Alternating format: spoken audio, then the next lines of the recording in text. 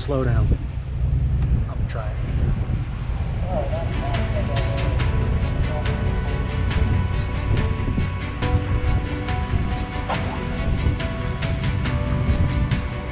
Wasn't bad. Already passed it. Still in two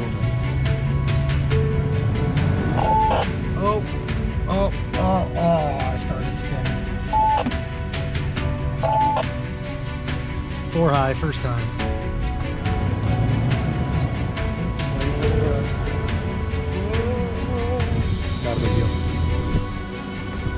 All right, fine. I had to use four-wheel drive because I didn't have any momentum. That's what it is. Let's go back to two.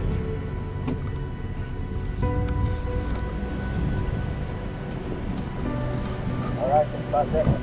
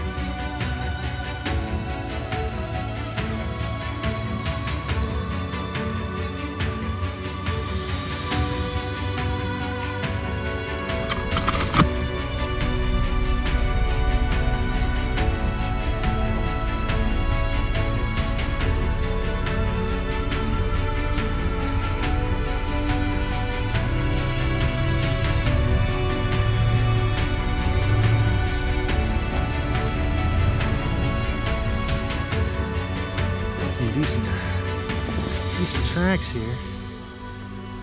Looks like deer. It's called Spooky Gulch. Spooky Gulch, you say? Any idea why it's called that? Um, All these dead trees? summer, the trees stay dead, and the, the way the sun kind of hits it, it's its own little alley. Mhm. Just kind of cool. Cool spot. Interesting. Is there a trail down through there, or is it just Uh, hiking? Yeah, there's a road that drops down in. Bet that snow down there is pretty deep.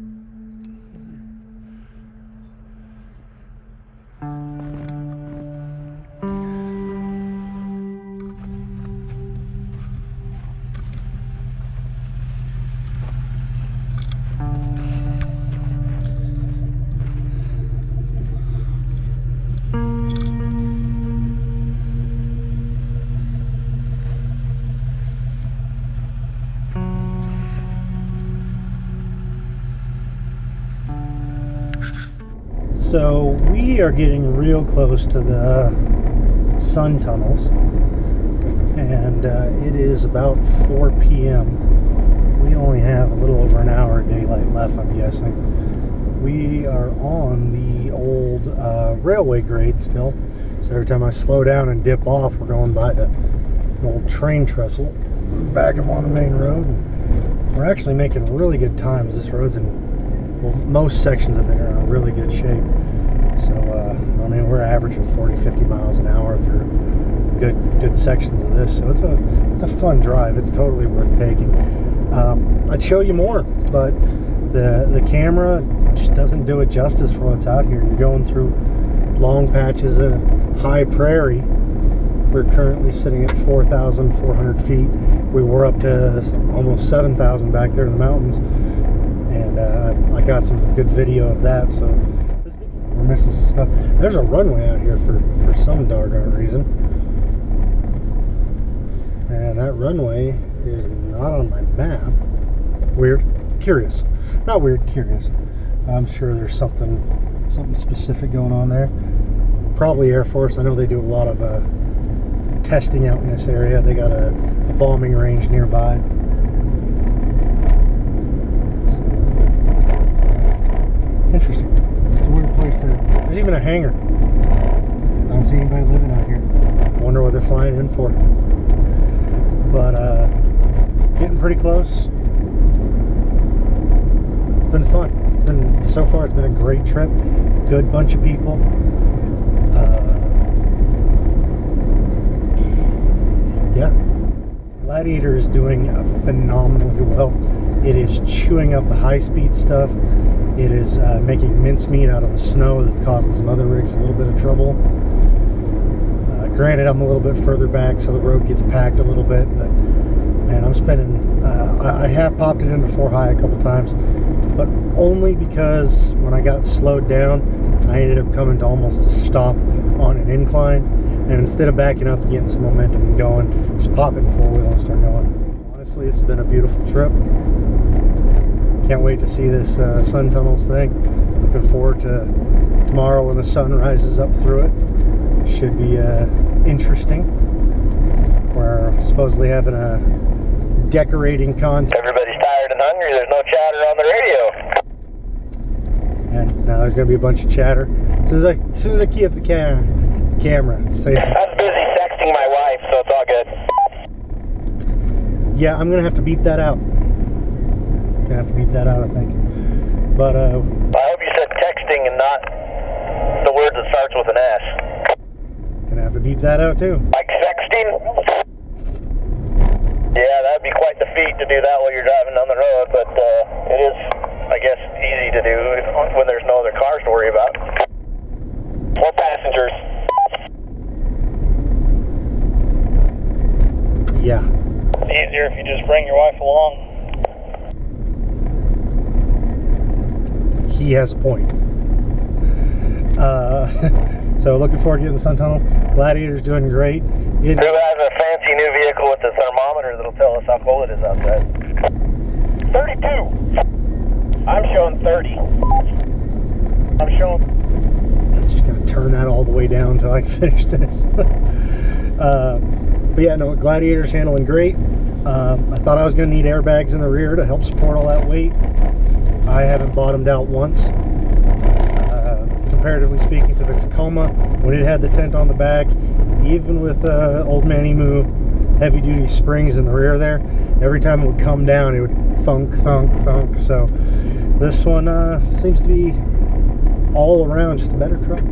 I hate to say it, Toyota guys. Uh, Jeep really knocked it out of the park with this one. Um, I'm adapting well to the long wheelbase, I think. I really, really enjoy it in the loose stuff.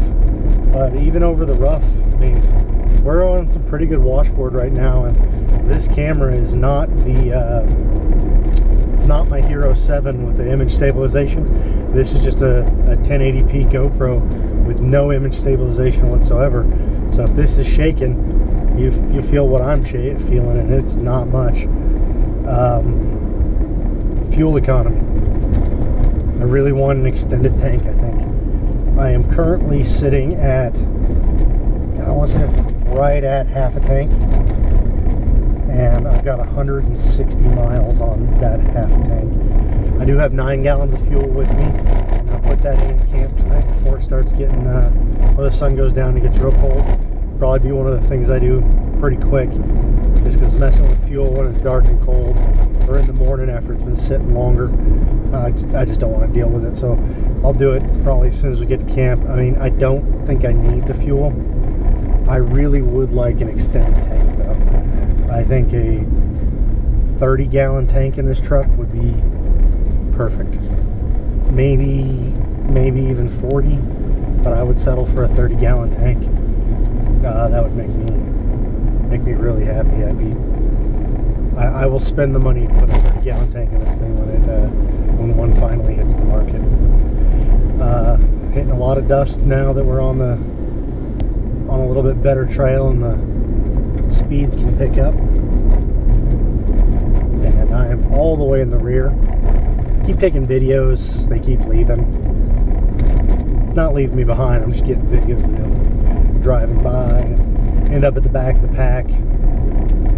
Front of the pack stops, does their business. By the time you get up there, well, they've already taken off, so I need to top, take a, a nature break. And uh, it's it is what it is.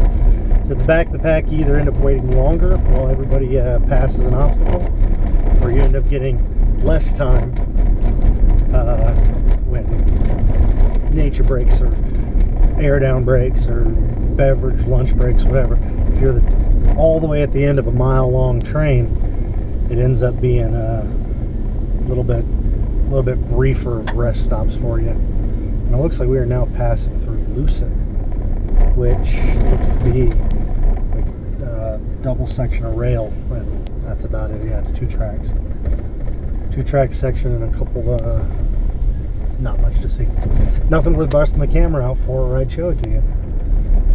Really, the, the point of this trip, I think, is the, the views are epic, but everything's a long way away.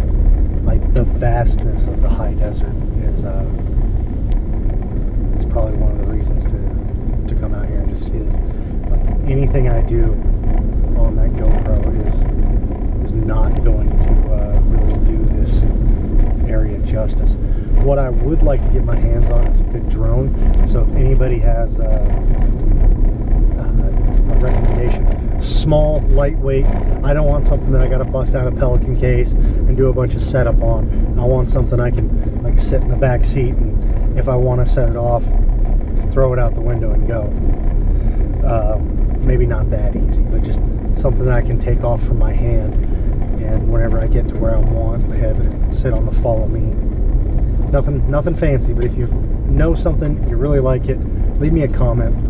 Um, that I think that's going to be the next video or the next next purchase towards this uh, whole YouTube endeavor because I think I could get some some much better footage, and I think a drone would do this trip a little bit more justice than what I'm doing for it now. Uh, but yeah, it's uh, it's been fun. It's a beautiful trip. And that is a serious washout. Holy cow! Uh, the InReach Mini. Uh, love it and have a problem with it. I have been uh, texting the wife about the kids back and forth. It is uh, it's a little expensive to have for the subscription, but uh, apparently one of the kids is starting to get sick again, so she's a little concerned. I think they're going to be fine. Um, she thinks they're going to be fine too. Just uh, just feels bad for them being all super congested. But uh, my one beef with the InReach Mini is you get the preset messages. You get three of them that are free. Those three pre preset free messages can only be done on the unit itself. So I got to reach up there, click through a bunch of screens, hit OK a bunch of times, and then it goes. Anytime I want to text a non-free message, when I say free, you get a handful with your subscription. Once you go over that, they charge you for each one. So the ones, so I, uh, I'm on the low plan right now just to test it out. The midway plan or midway plan gives you more, than the unlimited plan is like 60 some odd bucks a month, really expensive. But uh, the bottom plan I'm on, I get 10. I can't use any of my free preset messages, like, hey, we're on the trail, everything's okay. Just the check in messages. I can't use any of them from the tablet or the phone when it's connected to it. I can only use the messages that count towards my package and then uh, increase in cost after I've used up my package. I can't use any of those from the tablet, or I can only use those from the tablet. I can't use any of the just check-in messages from the tablet. So it's a it's a it's a serious malfunction of the software to not have that in the app. And I know Garmin isn't listening, but Garmin, you need to fix that because it's freaking annoying. Uh, I don't know if the Explorer has the same problem. If it does, let me know in the comments. If it doesn't, also let me know in the comments because if I can send the canned messages from the app using the Explorer, I might upgrade. Uh, but past that, the inReach has done great. Uh, messages go out pretty quick after I hit send. Zero problems there. So, uh, good, good. Tablet's running great. Uh, had to adjust a little bit. Uh, change the plugs to get it a, a little bit higher voltage so that it charges better. I was actually losing a little bit of voltage as I went, or a little bit of battery charge, not voltage. Uh, it just wasn't quite enough. But uh, the Carolina Metal Masters mount and the Tackform, the Carolina Metal Masters ball and the tack form um, arms and everything have, have held it perfectly. And it looks like we're getting ready to pull up to the top. Yeah, we're it's right here on the map. Um, we are making the last turn off the road, it appears.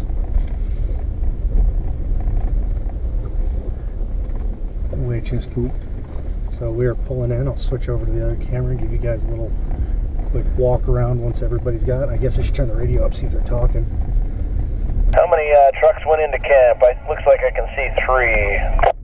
Some weird. Some uh, some Mad Max looking stuff. I don't really understand art apparently. I have no idea what's going on here. I just wrecked his shot. That's um yeah, very Mad Max.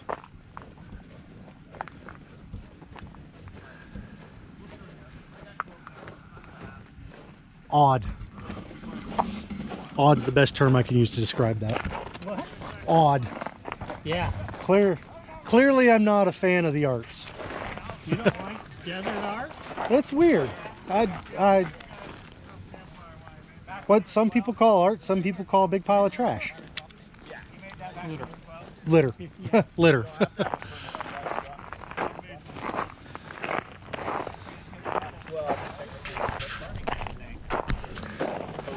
and this is apparently supposed to be the fist. That's where I thought you were going with that.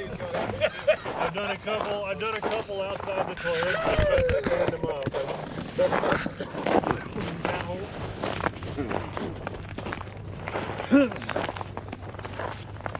Were the Legos originally part of it or was that added? No, it's all original. I got a whole I think the Legos are what the foundation is made out of. This where they got the idea for Thanos. Huh. I don't think that's true, but um, It does make for a better story. yeah, sure does. There's some writing on this side. It's you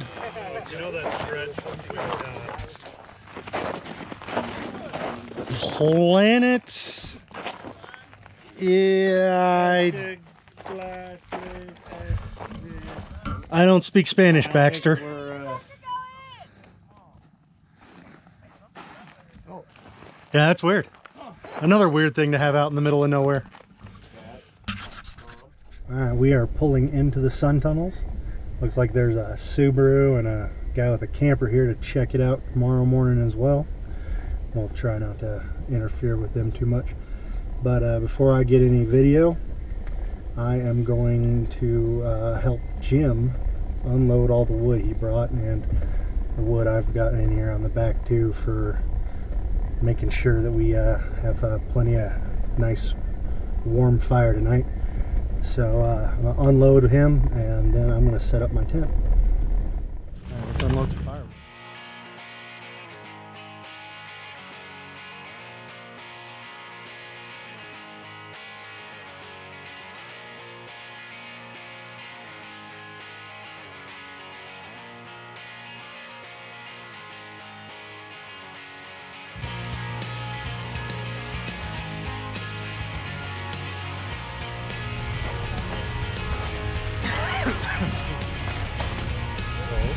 check out this amount of firewood. Apparently we're gonna have a long trench.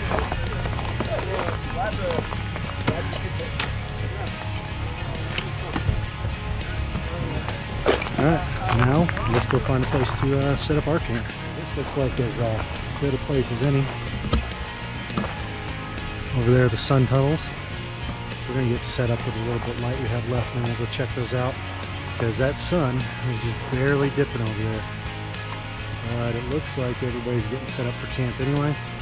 And uh, I'd like to have my bed up while I still have a little bit of daylight if possible. So uh, let's, uh, let's set this thing up.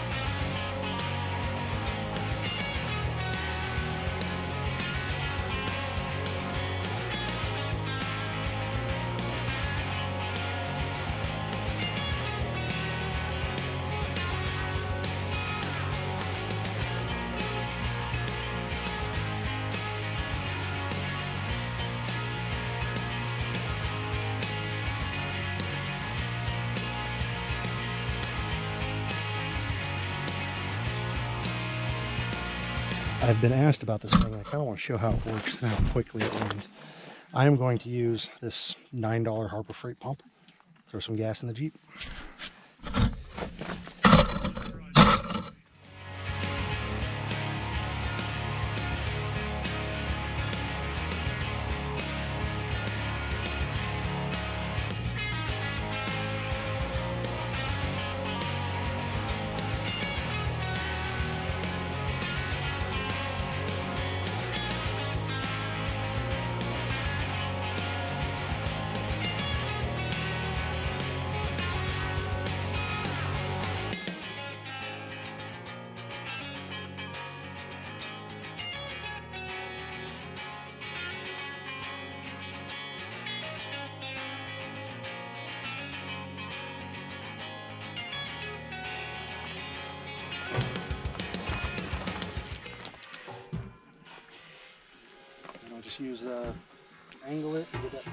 There and get that last little bit and she's done.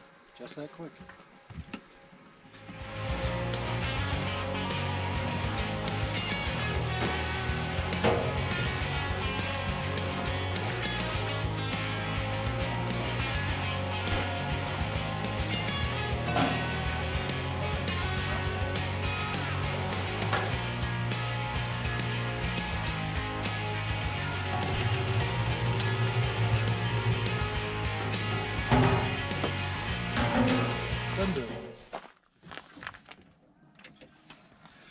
So I am far from a chef of any any imagination. It comes in a box, I can cook it, and today, since uh, I'm running solo, I'm going to be cooking out of a can. That's right, just canned soup.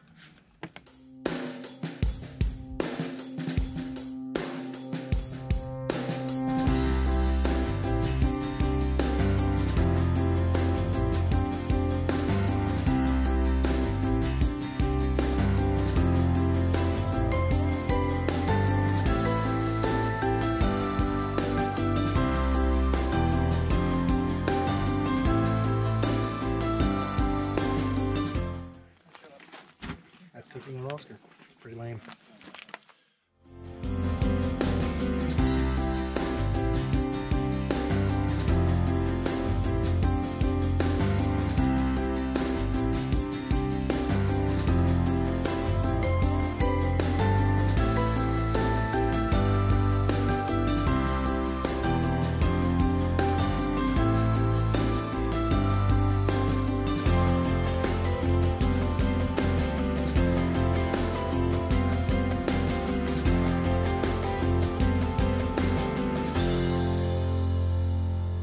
Oscar. Pretty lame. move again. We uh, left camp. I think we're headed south towards Wendover. Uh, sun tunnels was cool. It was uh, interesting seeing the sun come up through there. I got some good pictures. I'll try to splice those into the video, and uh, I'll probably end up posting them on Instagram too. So uh, should uh, should make for decent viewing.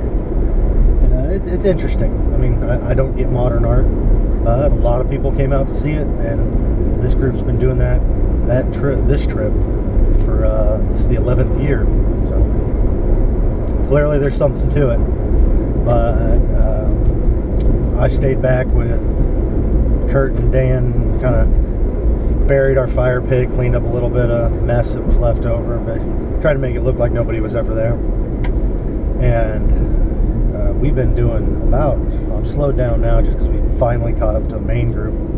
We were doing about 65 over some, I'd call it decent dirt road, a little bit of washboard, uh, a couple washout places, but I was doing about 60, 65 miles an hour through a bunch of it. And man, does this Gladiator ride good. I would never dream of doing that in my old two door. It just, it, the wheelbase did not allow for that type of high speed on loose, loose uh, ground. But uh, no, this thing's awesome. I, every mile I put on this truck, I get a little bit more impressed. And that's saying something considering how impressed I am with it already. But uh, I think we're just kind of making our way back towards the south, getting down towards uh, near Wendover, the interstate, throw some gas in. I think I'm going to beat feet home. See what everybody else is doing. Uh, if we hit pavement, there's a high chance I'm just going to head home. It's been fun. But man. I skipped breakfast this morning because I didn't feel like cooking. It was, it was just too cold to stand around and want to stir eggs or anything. And uh, it's currently like 24, 25 degrees. Uh, but this morning when I got up to make sure I was up for sunrise, to see the sun come up through those tunnels, So just a little trivia, if you decide to go wheeling out here and go to the west of the pilot range, which is that big mountain to your right, there's a little town about, uh, well, if I were to point a straight line, it's about 20 miles at about your 4 o'clock. If you decide to stop there for food and fuel, just be advised that they charge you 50 cents to use their toilet. I guess that keeps people from using the toilet. That's funny. But uh, no, it was just too cold this morning. Uh, I want to say the truck. That town, I believe, is called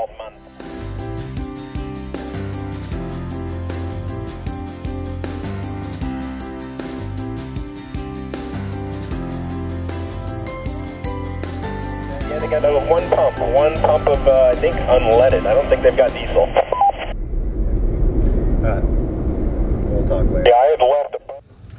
All right, so we are done. Get a final shot of all the rigs in the truck and uh, air up our tires. Then it's time to head home because I am exhausted. I did not sleep well.